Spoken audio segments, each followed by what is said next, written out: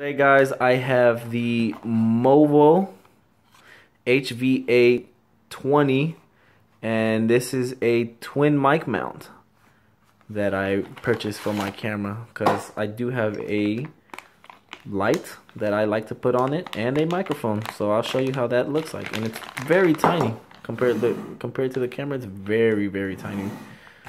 So it was like six or eight dollars on uh, Amazon. I'll put the link down below, but this is a great, great buy. There we go. All right, got that open. So first off, it feels great. It's uh, alum aluminum, I guess, aluminium, uh, but it's it's metal, so it's gonna be sturdy, gonna last, and even this is uh, made out of metal, some type of metal. So, alright, let's plop it on. I'll be right back. Alright, so I got it on and it looks freaking awesome. Um, I found out I can put it either way, any way I want. This way facing, this part facing that way, this part facing that way. So it's pretty interchangeable. It's pretty awesome. And then I'll show you with the uh, microphone mounted on and the light mounted on. So one moment.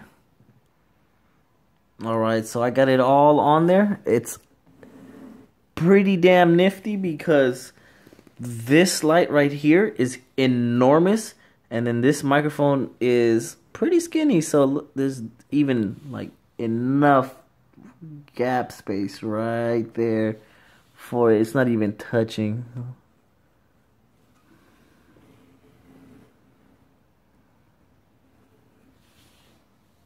Don't look at my N64, guys.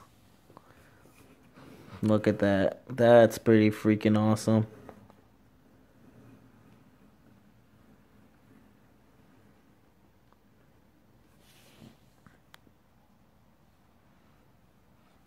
Boom. So there we are. The Movo twin light or camera, the twin So thank you guys. I'll put the link down below on all the products that I that you can see right now. And please like, subscribe, comment, follow my Instagram, Twitter, uh, Snapchat, whatever it is, Twitch. Um, just let me know. I'll put the links down below. And hope to see you guys again. Peace.